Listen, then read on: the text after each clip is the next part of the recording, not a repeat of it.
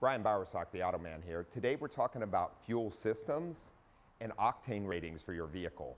As you know, when you go to the fuel station, you'll often see there's three octane ratings. There's an 87, an 89, and a 91.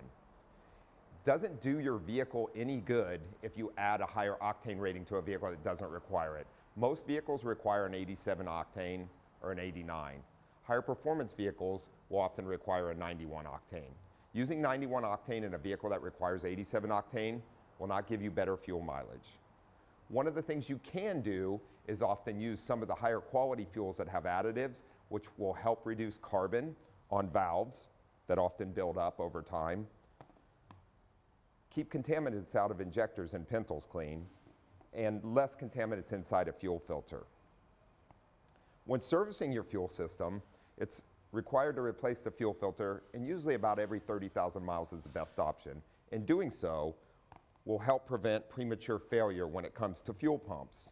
Fuel pumps are extremely expensive these days and usually installed inside of fuel tanks, to be honest with you, which can cause quite a bit of labor to replace.